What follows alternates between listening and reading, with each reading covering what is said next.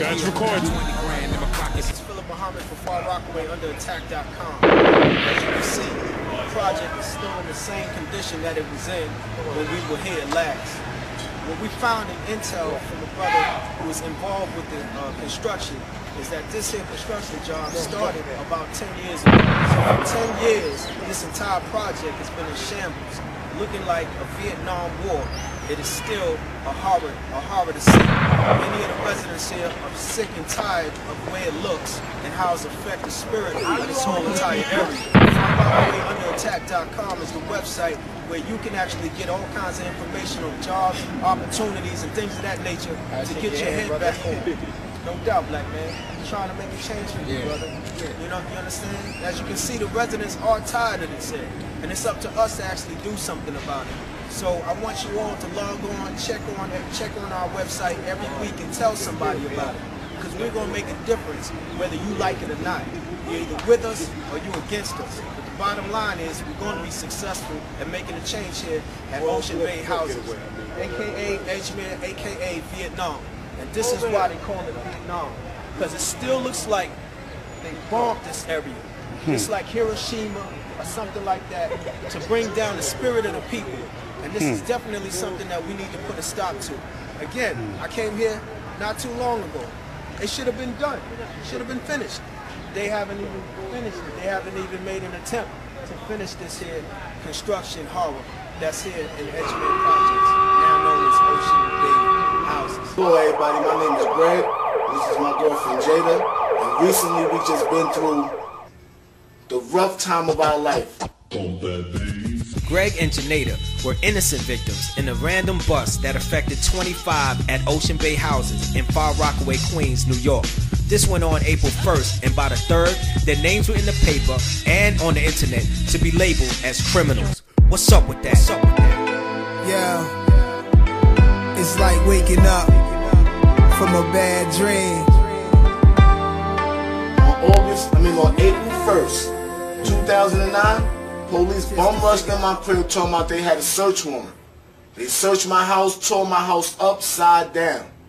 Took my kids, ACS done took my kids and all everything for nothing. For disorderly conduct. And I don't really think that's right. You know what I mean? Because disorderly conduct happens on the outside. It doesn't happen on the inside. You can't come in my house and say I was disorderly when you inside of my house. Like I don't feel that's right. Mm-hmm. And I really need help with somebody to do something about this for it to happen to somebody else.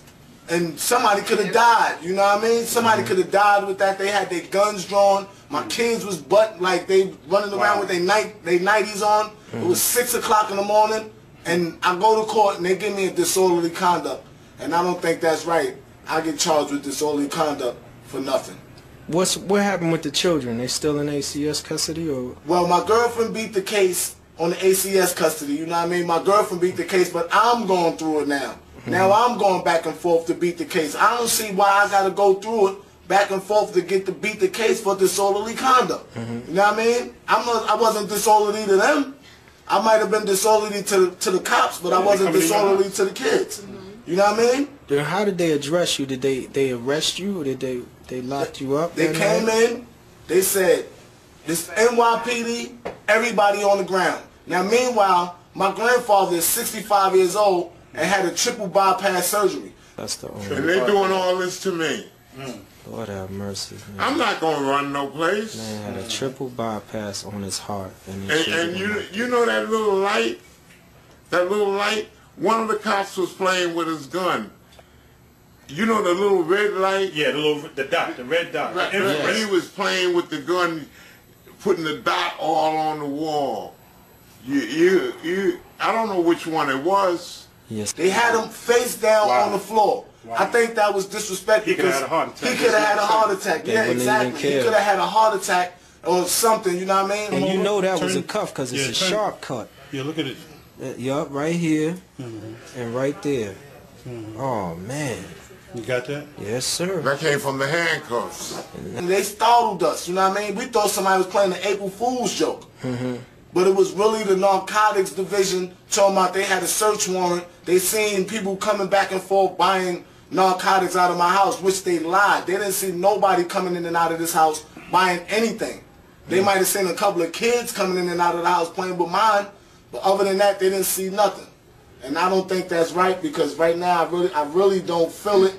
I really want to sue them. I want to, I want to do everything in the book to them so they can stop. They harass young guys every day. I look out my window every day. Mm-hmm. They grabbing somebody up. Give They a can't. You can't even walk down the block no more mm. without getting stopped by the police. You can't do it, and it's hard right now. It's hard for everybody.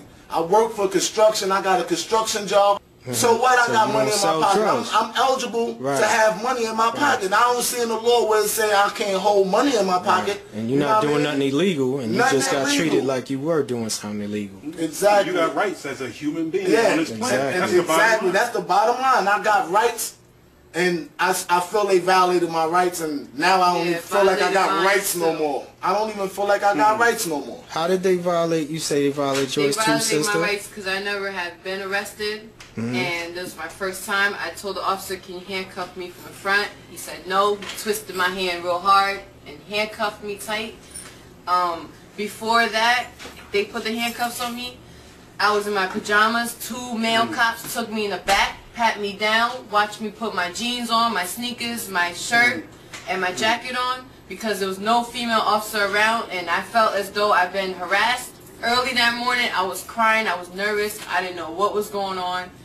I just wanted to leave right away. I just wanted to run away mm. from them because they were scaring me. Mm. And when the lady, when my legal aid said you're, you're pleading guilty to disorderly conduct, I didn't know what that meant because I don't know the laws. I have mm-hmm. not been arrested before in my life. I'm 24 years So old. So they forced you to, or Yes, coerced you to make a, to gu- a plead plea? You guilty. didn't have to plead guilty to And anything. that was not one of my charges. You understand? All my charges got dismissed. Some charges that I was not informed until I seen the judge.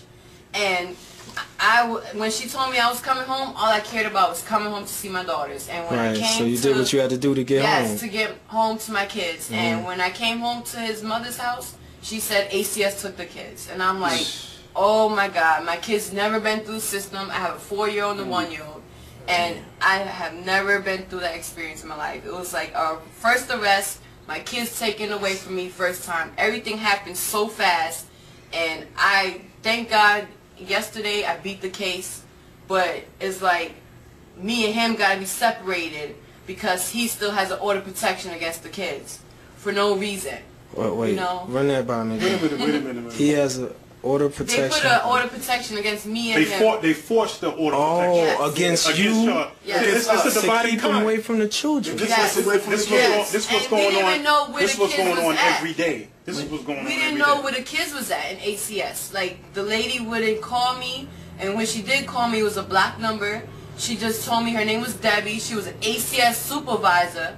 That was a foster parent. So I felt as though she was double dipping. You know, that's like Right. me working for welfare and collecting food stamps and cash. Right, Like, right, right. I felt as though She my wasn't- kids she should wasn't thinking about your his mother. His mother is the grandmother, and she takes good care of children. She babysits, you know. So I was hurt, and I've been through a lot. I have a, a journal I write in every day because I cry every day. The fact that I missed 12 days of my children's life, you know, I'm always with them. They're always with me and their father, and I just felt like that illegal search caused drama and traumatized in our lives. Legal and search and seizure. Mm-hmm.